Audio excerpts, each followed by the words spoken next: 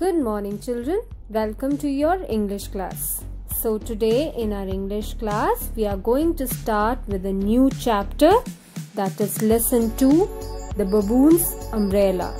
This chapter is in Semester 2 book, page number 18. So, children, The Baboon's Umbrella is a story, and this story is written by Arnold Lobel. Children, first let's look at the difficult words that are used in the story. First word is baboon. How will you pronounce it? Baboon. A large monkey with a long snout. Snout means it has a long nose, jaw, and mouth. Okay, can you see in the picture? So that is a baboon. Second word is gibbon. A small ape that has long arms and legs. So, children, this gibbon has no tail and it is larger than a monkey.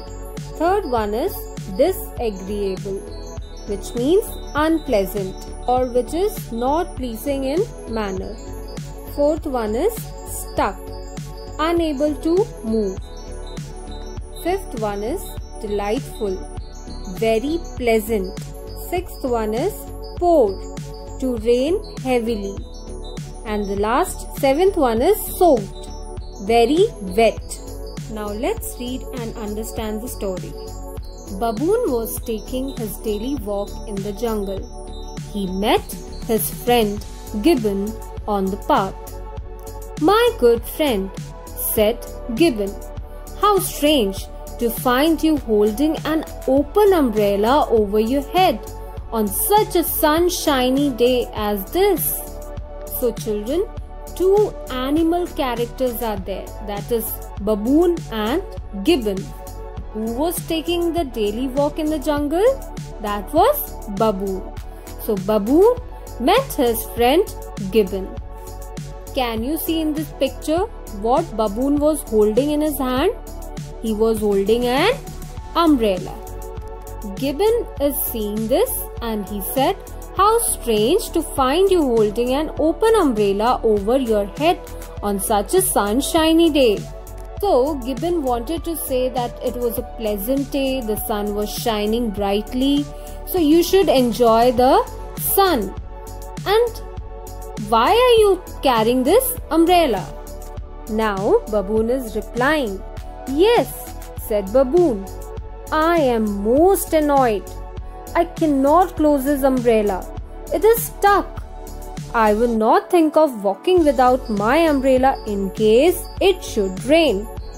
But as you see, I am not able to enjoy the sunshine underneath this dark shadow. It is a sad thing. Children, here annoyed means troubled or irritated by something. Why was Baboon irritated? Or annoyed? Hmm, he was not able to close his umbrella because it was stuck. He was unable to move the umbrella. So, this was a problem with Baboon that he was unable to close his umbrella. And he is also saying that he can't think of walking without his umbrella because he was worried what if it starts raining. So, children, how does an umbrella protect us? Yes, it protects us against the rain or scorching sun. So, that is why Baboon was carrying an umbrella.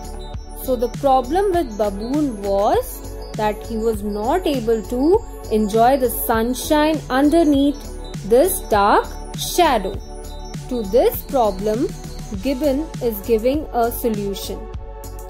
There is simple solution, said Gibbon.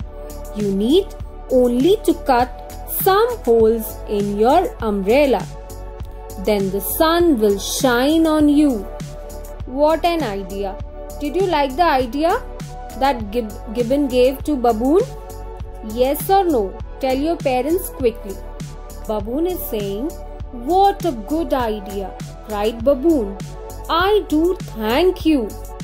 So, children, here Baboon is very happy with the idea that Gibbon has given to him. And Baboon is even saying, I should thank you for this idea.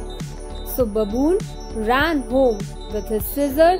He cut large holes in the top of his umbrella. When Baboon returned to his walk, the warm sunshine came down through the holes. So, children, Baboon didn't think about anything. He went home and with his scissor, he has cut large holes in the top of his umbrella. Now, how is Baboon feeling? How delightful, said Baboon. Delightful means he was feeling so much satisfied. He was enjoying now. What was he enjoying? He was enjoying the warm sunshine. However, soon the sun disappeared behind some clouds. There were a few drops of rain. Then it began to pour. The rain fell through all the holes in the umbrella. In just a short time, the unhappy baboon was soaked to the skin. So, children, what happened at the end of the story? First, the sun disappeared behind some clouds. Then there was few drops of rain. Then it started pouring down. Pouring down means or to pour means it started raining heavily. And what happened to our poor baboon? He was soaked to the skin. He was very wet.